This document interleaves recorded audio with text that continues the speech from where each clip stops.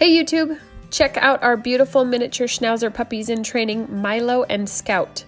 Milo and Scout are brothers, and they have just completed our eight week training program. So stay tuned to check out their progress.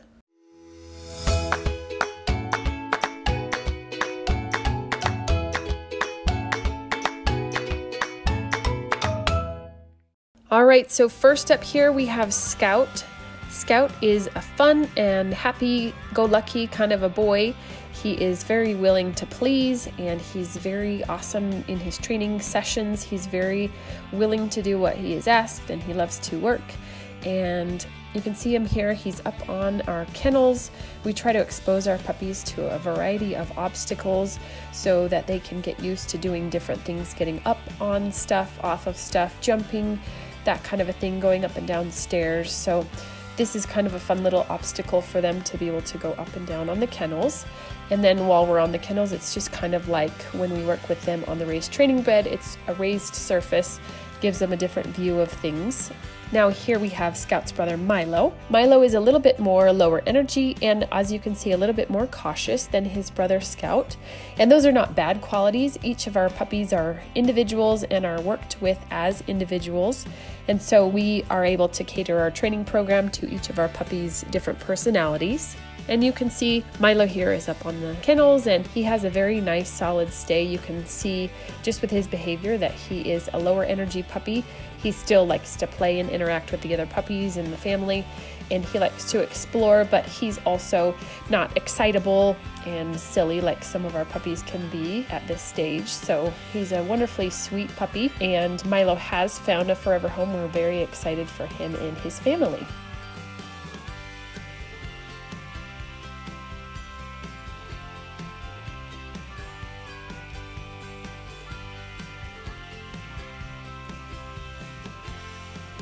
All right, here is the two brothers together. Now, these two are really difficult to tell apart. So, we have Milo in the blue collar on the smaller kennel, and Scout is in the black collar on the larger kennel. Now, we call this type of training session tandem training because you're working with both puppies at the same time. And we usually only do this towards the end of the training program if we get an opportunity to do it because it's a really difficult for our puppies um, when they're worked together, it's a huge distraction for them to watch the other puppy, for example, get a treat, or for the trainer to interact with one puppy while the other puppy's expected to sit or stay or lay down and wait. So, excellent opportunity for them to learn and to grow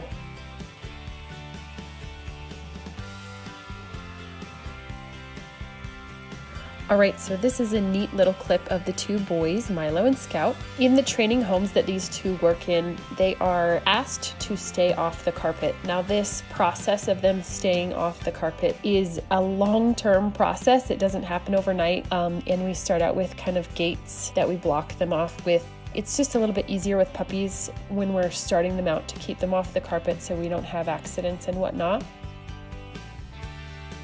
And so you can see that these puppies have learned to respect those boundaries. And here's just some lifestyle shots of our puppies. We had a couple of our other puppies in training come over to visit and you can see it's kind of like this big meet and greet with all of the puppies. We've got Brody and May and Scout and Milo and Leo here. So you can see the puppies are all sniffing. They're getting along well, meeting new puppies. Milo and Scout had not met Brody and May up to this point, so this was a really awesome opportunity for them to get to know the other puppies that we have in training.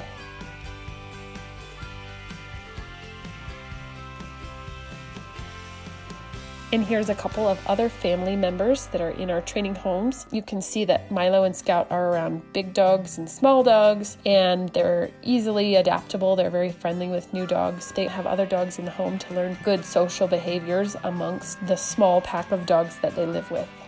Now, Milo and Scout have also been raised around children and small children, including toddlers, and they are very easygoing and relaxed around the children. They get used to the chaos that children can bring, and they are very patient with the kids. That's one nice thing about our puppies being raised in homes with children is that children can be overwhelming for dogs if they're not raised around them. And you can see that the puppies are really relaxed and easygoing, and happy to be around the children, be held and be petted, and be around the noise and the chaos uh, of the children. You can see they're very relaxed when they're being held, and they love the kids. They love the um, attention from anybody, adults and children alike.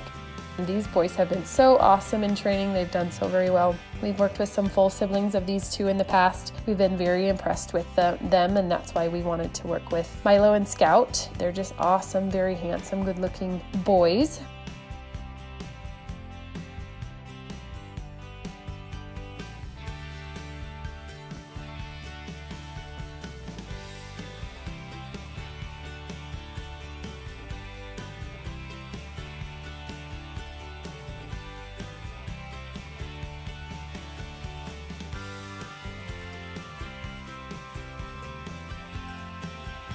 Scout is still looking for his forever home. So if you're interested in a wonderful family companion, please contact us through our website and we'd be happy to provide you with more information.